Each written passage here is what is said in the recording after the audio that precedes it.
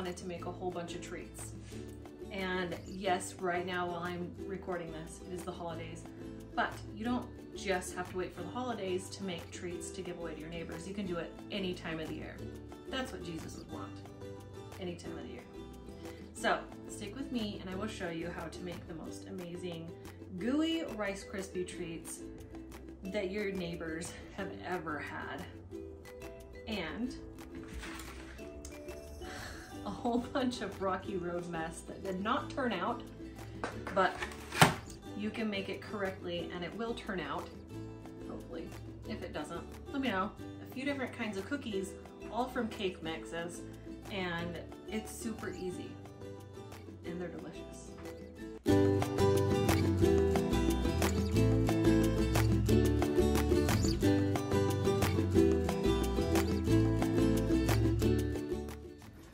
I've tried to plan out my treats so that I can have cookies baking while I'm doing other things.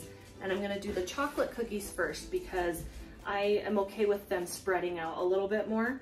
The sugar cookies and snickerdoodles, I'm going to make the dough and put that in the fridge while these are baking. And then I'm also going to be doing other things. So we want those to sit in the fridge and cool the dough so that they stay a little bit more round, more fluffy. If you have it at like room temperature, then they're gonna spread out more. So I want that to happen with the chocolate ones, but not with the other two. Since I'm gonna be sharing these with family and neighbors and friends, I'm doubling the batch. Typical cake mix cookie is a cake mix, two eggs. I didn't get enough eggs, right? Yeah, it's two eggs. So I need two more for each of these. That was awesome. Well, anyways, thought I was being responsible. Let me check. Hang on a second. Let's do this right. Yep, it's two eggs. So per one cake mix, two eggs and half a cup of oil. So I'm going to double that. I'm going to steal these eggs. So I'm going to make the chocolate dough first so that I can get those in the oven. I'll make the other doughs, put them in the fridge, and I'll start making the other treats. Gotta plan it out or else it's gonna take forever. It's just gonna be a big disaster. I'm gonna whisk together the four eggs. Of course. And the oil. So I've got four eggs and a whole cup of vegetable oil. So just dump in the cake mixes and stir it together.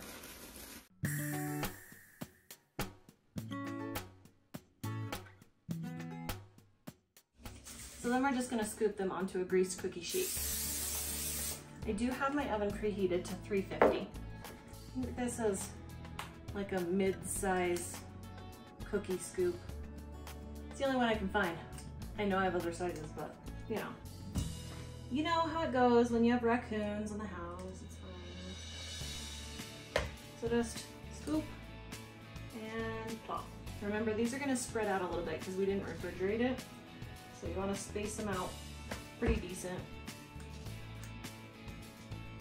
Knowing me, I'm gonna do it wrong and there, it's gonna be one gigantic cookie and it's not gonna be pretty. It's okay. It's okay. It'll be fine. So you can either use a cookie scoop or use spoonfuls and just roll it around into a ball. If it's more uniform, it's just gonna be prettier.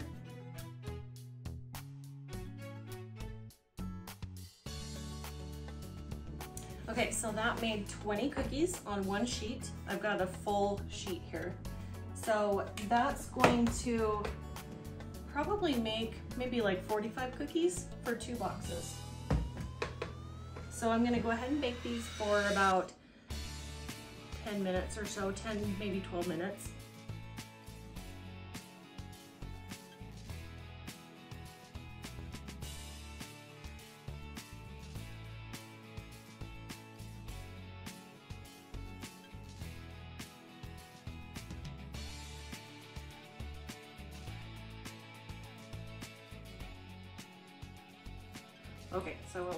Here for the snickerdoodles is I've got the cake mix, oil and eggs made into a dough, and I've got cinnamon and sugar got my scoop.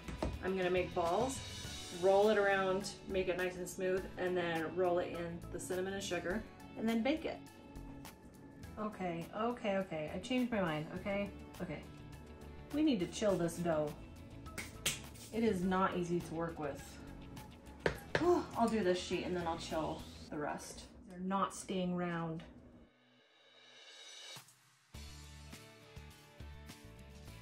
I forgot about them. Hurry, get them off the pan. Oh, oh they're burned. Oh, I burnt half of the chocolate cookies.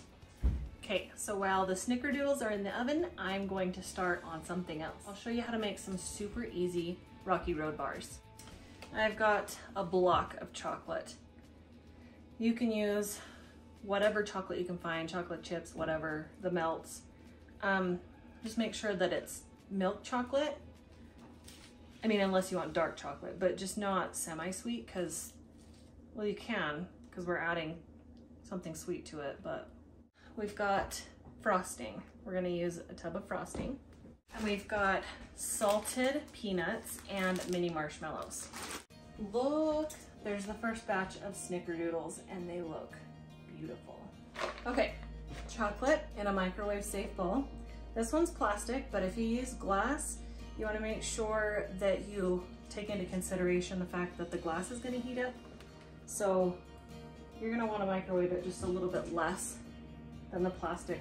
So I'm going to do about 30 second increments. Struggle with the scoopy thingy. Ah, everything has to break. Oh yeah, that is way easier to roll around in your hand. And then toss it around in some sugar, cinnamon and sugar.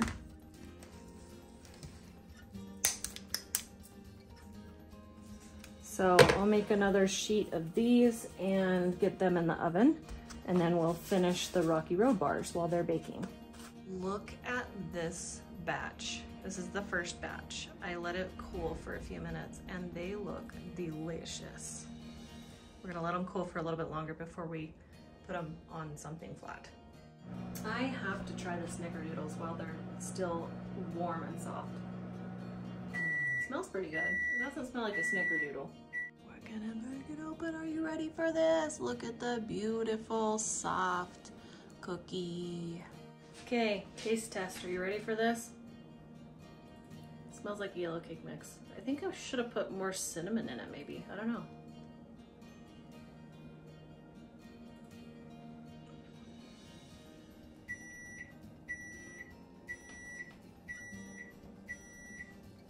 Everything in my kitchen throws a fit when it's ready for me to pay attention to it. It does not taste like a snickerdoodle that I'm used to, but it's still good. I say more cinnamon, but I, just, I don't think that that would fix it. It's good, it's nice and soft, it's a delicious cookie, but it doesn't taste like a snickerdoodle. Kind of looks like it. I don't know. Maybe I'll try rolling some of the, the sugar cookie dough in cinnamon sugar and see if it tastes more like a snickerdoodle. That's a good idea. I say I'm only gonna do another 30 seconds. It's still got some quite big lumps in it. And like I said, I don't wanna burn it, so I'm gonna do another 30 seconds just to give it a tiny bit more heat. And then I'm gonna let it sit for a minute. Cause see, as, as it's stirring together with the other warm chocolate, it's melting. You know what? It's melting good enough. I'm not going to. We've got milk chocolate and we've got some fudge frosting. You can use whatever chocolate combination you want. You can make it white chocolate and color it or whatever, make it more festive, but this is what's gonna make it fudgy so that it's not like a chunk of hard chocolate to bite into. We're just gonna stir it together until it's all nice and incorporated. I want the frosting to melt a little bit and the frosting was cooled down so it's starting to cool the chocolate down which is unmelting it. I'm gonna go put it in the microwave. And this is me, so of course it's not working out the way I wanted it to. Look how pretty the chocolate was when I melted it. I should have melted the frosting first before I put it in, and now it's all not pretty. Whatever, it's still gonna taste good.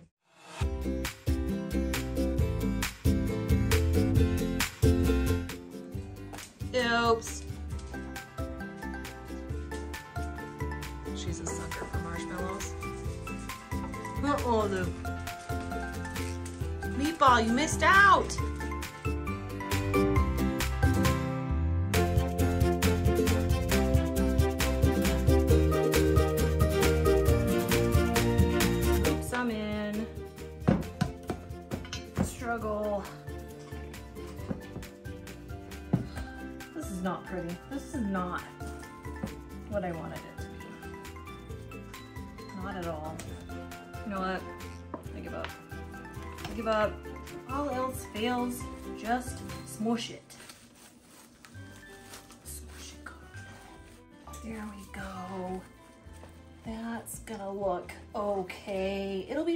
I cut it, I'm sure. Will you, you know that torch that you were playing with? Yeah, Where's that? one that you hid from me. I did not. I can't hide things from you. You're too clever for that. Will you find it, please? Where'd I hide it? How do you not know? Pretty sure I hid it in plain sight. gummit.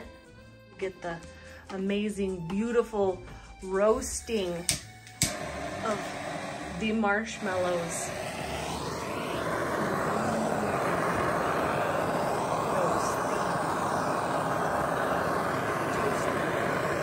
there a difference? What's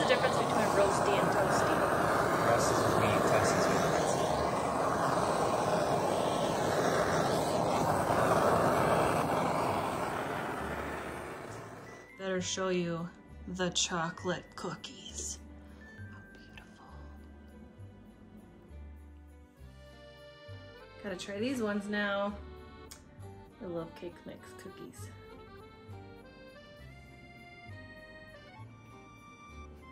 They're really fudgy. It's pretty delicious. And they're gonna be even better and more beautiful when we're done with them. Our sugar cookie dough log is pitiful looking, but it's chilled. And I'm going to attempt to cut it. We all know it's not gonna work. I'm gonna roll it in, I'm gonna make balls. One way or another, I'm gonna make balls out of it, roll it in my hands, make it round, and roll it around in some sugar. And like I said before, I'm going to try rolling them in cinnamon and sugar, a few of them, and see if that makes a big difference, if it tastes more like a snickerdoodle than the yellow cake mix. You know what I'm gonna do? I am going to just do one or two more of these with plain sugar. I'm gonna color some sugar. Because they should be Christmassy, right? Everybody say yes. Say yes in the comments to let me know you were listening. I don't want it to be wet, so I'm just gonna put, maybe. Hello? There we go. This is gel. I don't know how well it's gonna work. okay, then. Oh wow. I don't know if this is gonna work. Just keep shaking. It's still got chunks of food dye in there. But what do you do? Um, I can try to take the Just gonna try to sift it. At least it'll get the bigger chunks.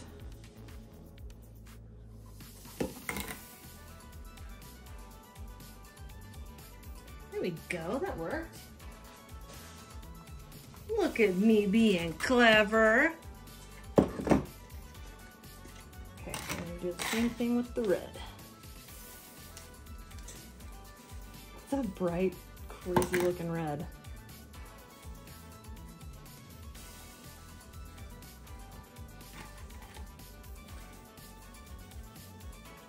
the red's a little bit more wet, so it's putting up a fight.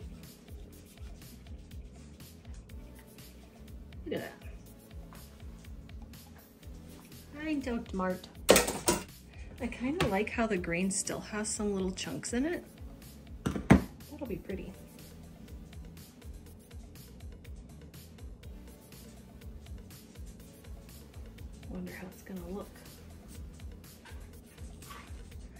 It's gonna look amazing. We're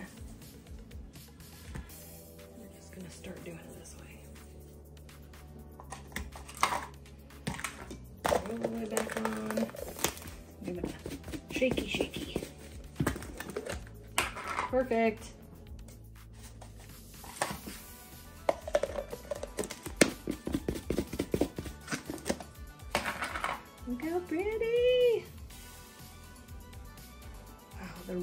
Are really brilliant looking. I'm gonna do some gold. I've got some gold sprinkles.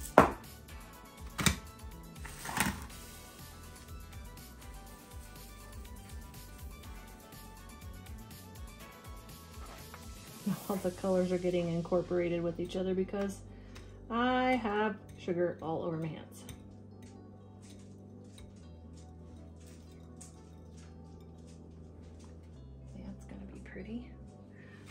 I'm gonna put gold in with the red. Don't judge me, it'll be pretty. Don't be afraid to experiment with your sprinkles. Look, how fun is that? Oh my gosh, I love it. Too bad my kids didn't want to help me. I will just have all the fun without them. It's I'm having all the fun and they're not. Why would you want to play video games when you could play with sprinkles?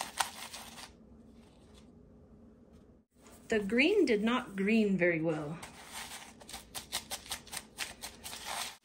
I am super impressed and entertained by the red and gold. Not so much by the silver and green. Someday the kids are gonna watch this video and be like, oh my gosh, I wish I would have been helping mom. It looks so fun. Those cookies turned out so delicious. It's fine. This is why I make videos if no one else watches, maybe someday my kids will be 45 years old to be like, oh yeah, mom used to make YouTube videos. Positive that my kids are actually gonna turn out to be far better cooks than I am. Okie dokie. Breaking cute cookies into the oven. Here we go. These are the ones that I did not put in the fridge. Look at how greasy my hands are from the cookies. I did not chill this dough. I chilled this dough. There's a little bit of a difference, but it really isn't a huge difference. But this one, I'd only chilled it for 20 minutes. So, and I've been chilling the sugar cookie dough for probably close to an hour. We'll see if there's a big difference there. Okay, now that I have thoroughly made a mess of my kitchen, there's sugar on the floor. I don't even know how I did that. Like, I'm an adult and I got sugar on the floor. Don't ask me. Anyway, for the chocolate cookies, we are going to make them into peppermint bark cookies, but only half. Like, I, I saw a picture of somebody else did that and it's really pretty. So we're gonna melt some white chocolate chips in the microwave very carefully. You want to use less time to melt the white chocolate than you did with the milk chocolate because it burns a lot easier. And then we're gonna bust up some peppermint candies. We're gonna dip half of the cookie in the white chocolate and then sprinkle it with peppermint cookies. And they're gonna be beautiful.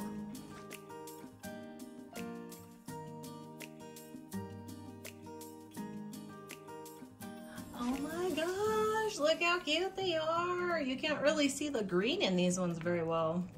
And the red ones kind of turned out a little pink, but yeah, they're still festive.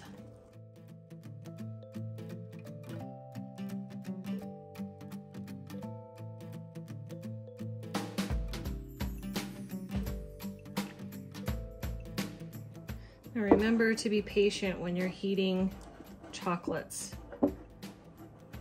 I've got a glass bowl and the bowl itself is rather warm from being microwaved. So it is heating, it's still heating the these uh, chocolate chips as I'm stirring it. So with the heat from the bowl, I might actually not even need to put it back in the microwave again. We're just gonna be patient or else we will burn it. And that is gross. We're just gonna dip half of it in the white chocolate. I don't want a huge lump there, so I'm gonna wipe it off a little bit. And then just sprinkle a little bit of chocolate. I mean, whatever that is. Peppermint.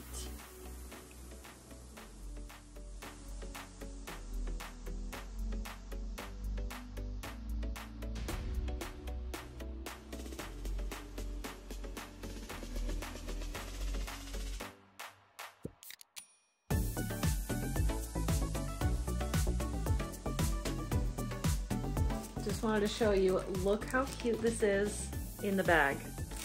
It's so pretty. That turned out really well.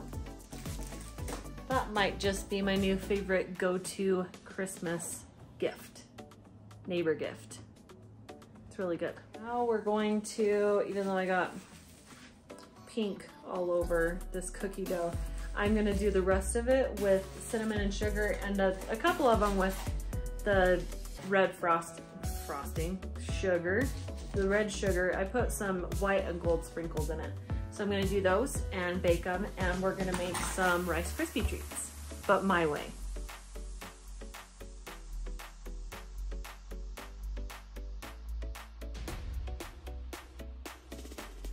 Okay, my Rice Krispie treats are really good. They're nice and like gooey, wonderful, great flavor. They're not exactly the same as the traditional recipe, just a little bit different, but they're still really easy. I'm gonna melt half a cube of butter, like a quarter of a cup, or a half a cup. I mean, it's not really a big deal.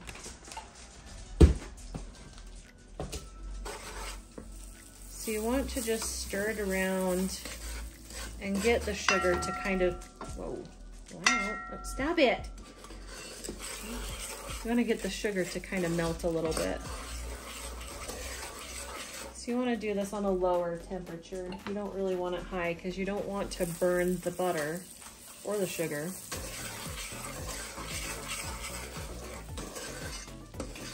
Give that a good couple minutes while you're stirring it until it seems like it's kind of melted. Now if you want the Rice Krispie treats to be more caramely, geez, it's like a tuning fork. Anyway, if you want it to be more caramely, you can put more brown sugar in it.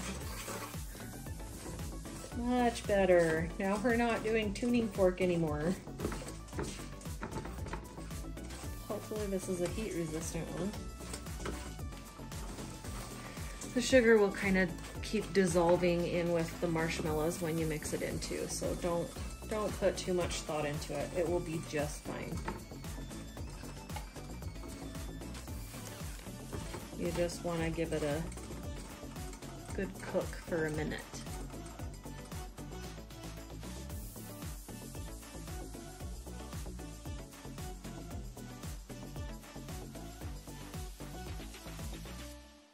You just put in however much you want. You make it as gooey or dry as you want. Really don't have to measure with Rice Krispie treats.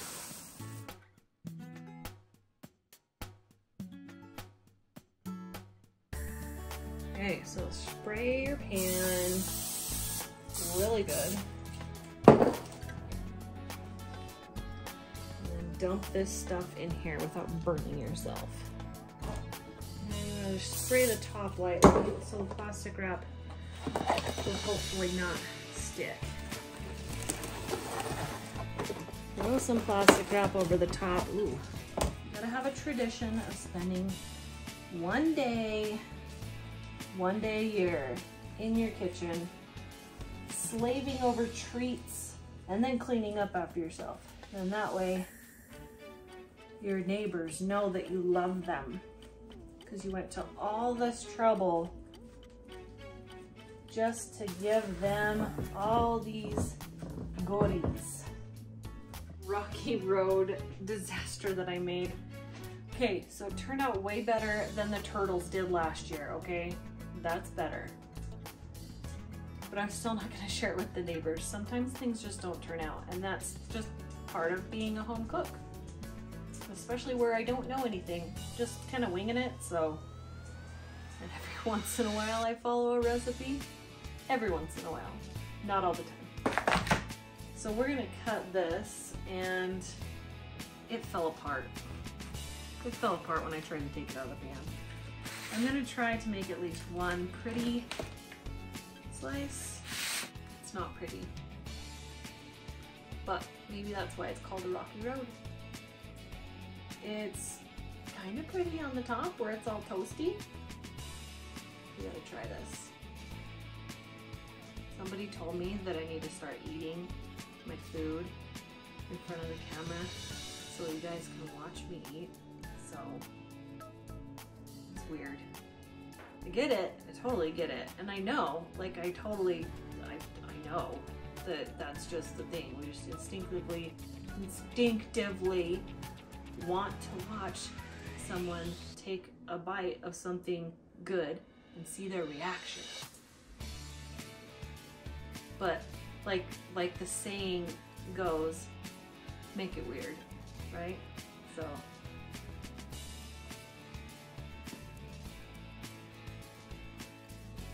That is actually really good with the toasted marshmallow on top.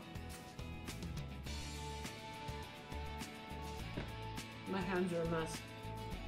My kitchen's a mess. The Rocky Road stuff is a mess. But it tastes pretty good. I like that I did the toasted marshmallows on the top. That's a fun little addition to it. It tastes good like it really makes it a slightly more sophisticated. That's pretty good. You should try it, but do it right. Okay, aside from the sink full of dishes, I straightened up a little bit so that I'm not completely stressed out about the mess in here. But we've got to try the snickerdoodles with the French vanilla cake mix. Here it goes. I think these ones are going to taste a little bit closer to what I expect out of a snickerdoodle. It smells pretty good. It's definitely closer. Definitely closer to what I expect, but it's still a little off. Like there's just something about, you, you just can't replace a good old fashioned recipe for snickerdoodles. But if you want something quick and easy, here we go. I like the white cake mix with it better than the yellow cake mix. It's better. Here's the cookies that we made. Look how beautiful they are. They're all cake mix cookies, a little bit different. And my favorite are definitely the peppermint bark cookies. They're beautiful and they are delicious. But the snickerdoodles with the French vanilla cake mix are pretty good. And then there's the Rocky Road disaster. It kind of resembles a rocky road, a partially snowy, roasted, toasted, rocky road. It tastes really good, but it's not in any condition to give to the neighbors. It was really good though. I really like it, but favorite right there. Look how beautiful that is. I don't know why, but I'm just fascinated with how amazing that looks. Then we've got the Rice Krispie treats. I've got to cut them up. Give me just one second. Olive, do you think you need a Rice Krispie treat? Huh? So does Meatball. Are you being cute? Are you being cute? Yeah, you are. Of course. She always does the little snort thing when she wants something. And the little sneeze. How about you, Meatball? You got anything to say? You got any noises to make? Beggars. Beggars! That's all you are. That's all you are. You was a beggar. Huh? You do are. You need your face washed. Mabel. Tell me in the comments if Meatball's haircut currently looks like Max. Would you come to Max? Max! Max! Meatball! yes, he likes Meatball better, unfortunately. Max off of the Grinch. That's what he looks like right now. He just being festive, huh, Meatball? They just being festive, aren't you? All right, here we go with the Rice Krispie treats. I'll get one that's nice and square so that it's pretty out of the middle. Oh look, look at the gooey. Oh, look at that. Oh, that's how we like it. Look at the goo. Focus, focus, focus. Hello, hello, hello. Where is it? There we go. What? Look at the goo on this.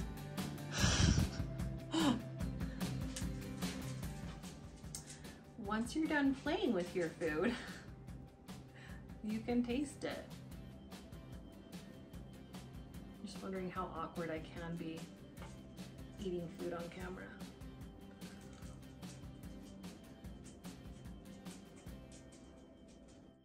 It's pretty good. That's the way I like it.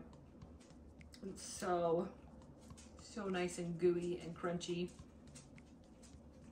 And the brown sugar just gives it, it helps with the gooiness, definitely.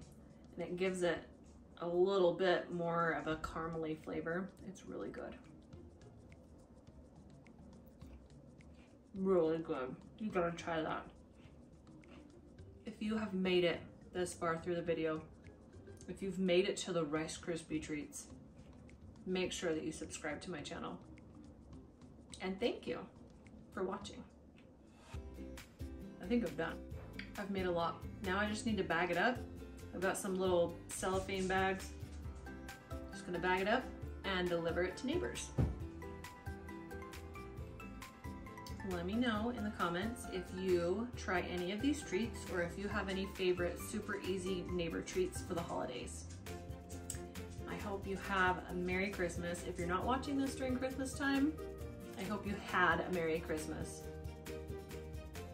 Merry Christmas and peace be with you. God bless.